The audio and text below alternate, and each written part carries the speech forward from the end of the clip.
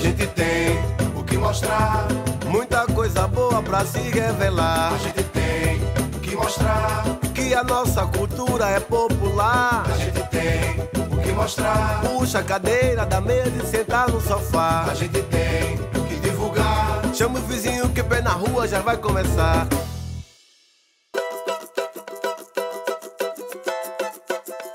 E aí, tudo bom?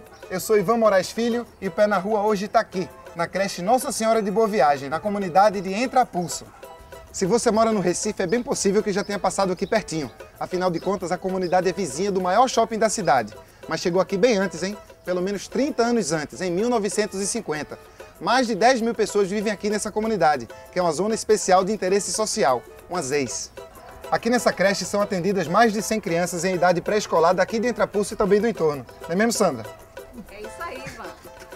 Sandra Nicolau é a coordenadora da creche, é com ela que a gente bate um papo no final do programa. Pé na Rua tá no ar.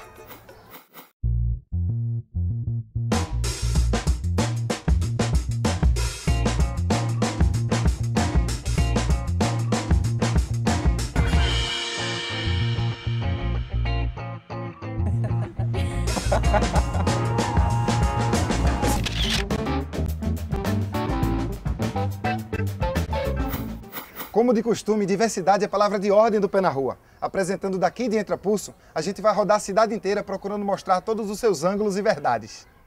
Logo de cara a gente vai conhecer Emília Marinho, uma grande batalhadora de Brasília Teimosa. O Dar Certo passa a palavra para a turma do Fotolibras, um projeto que capacita jovens surdos na arte da fotografia. A redução ou não da maioridade penal é o tema do Digaí.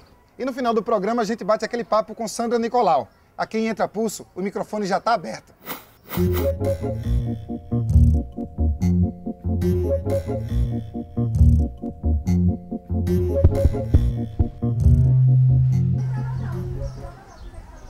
Rita Lourenço de Menezes, moro aqui há 35 anos. Gosto muito daqui, não troco esse lugar aqui por nada.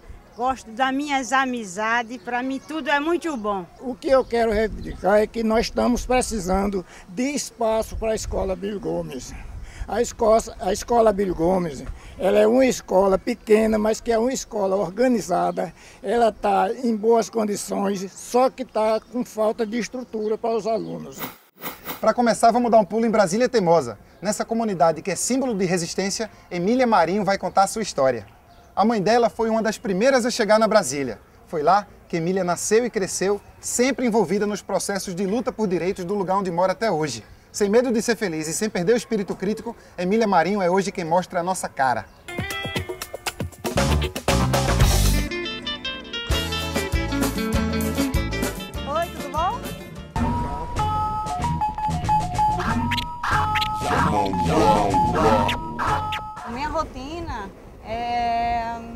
Ou menos de uma coroa de 44 anos.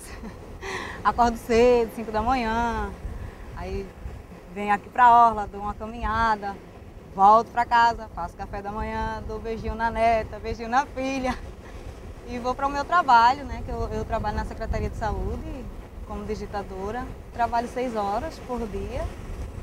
Às duas da tarde eu estou de volta em casa e começa tudo novamente. Eu moro aqui em Brasília Teimosa há 44 anos, né? Que é, é o tempo que, que eu tenho de nascida. Eu gosto da minha comunidade, porque é uma comunidade foi uma comunidade de luta e é ainda, né? Fomos a, a primeira invasão, uma das primeiras invasões aqui de Recife e que tivemos bastante eh, batalhas aqui, né? Eh, a questão do saneamento que ainda está por vir, mas já está melhorando. Nós lutamos bastante, né? A questão do calçamento que não tínhamos, a questão eh, da água, ônibus era muito precário. Hoje eu tenho bastante orgulho da comunidade por ter sido uma invasão e por ter evoluído, né? E Brasília Teimosa hoje está assim, conhecida nacionalmente. Então, é, serve de exemplo para as outras comunidades para que lutem para conseguir o que nós conseguimos, né? E, ainda tem muito para se conquistar ainda, né? Mas para o que éramos já é muito bom. Brasília Teimosa era uma comunidade de, de pescadores, de pessoas simples, mas assim, que se respeitavam, né? Um respeitava o outro, um ajudava o outro, assim, sabe? Se teu vizinho está com dificuldades financeiras e tal, então a, a gente sabia da dificuldade do nosso vizinho, que era como se fosse família, né? As pessoas estão muito para eu, sabe? Meu mundo, eu, meu, meu e meu. E aí esquece do, do, do que é mais importante, que é o humano. A família é a base de tudo. Então é, é a partir da, do amor que você tem à, à família que você pode ser bem e feliz para os outros. O importante é viver. Viver cada momento intensamente como se não houvesse amanhã. É mais ou menos assim que eu vivo.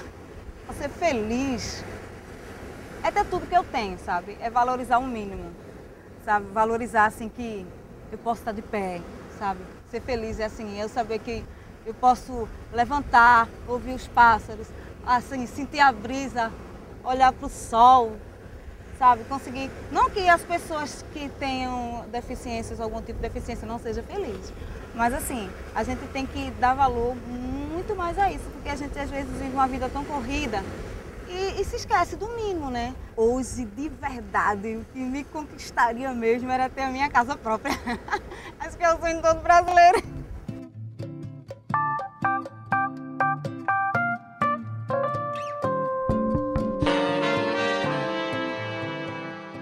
O conselho que eu dou aos jovens, não só da minha comunidade, mas no geral, é que estudem, leiam, busquem ver mais reportagens, entender o mundo que te rodeia. Né? Que através dos estudos é que você vai conseguir os seus objetivos, os seus sonhos, realizar o que você deseja.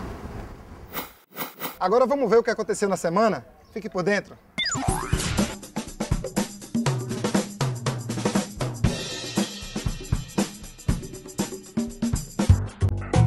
Na última quinta-feira, dia 29 de outubro, rolou o seminário Políticas Públicas de Juventude, em defesa do direito à vida contra o genocídio da juventude negra, no auditório do Pró Rural, no centro do Recife. O encontro foi promovido pelo Fórum da Juventude Negra de Pernambuco, em parceria com a Secretaria Especial de Juventude e Emprego e o Conselho Estadual de Políticas Públicas de Juventude, e contou com representantes dessas entidades e da sociedade civil. Hoje o estado de Pernambuco tem um grande índice de morte e de violência voltada a esse público jovem, negro, pobre de periferia. E aí nós precisamos debater o porquê que essa juventude está morrendo, o porquê que essa juventude está sendo exterminada. Não sai daí. O Pé na Rua vai para o intervalo e volta já.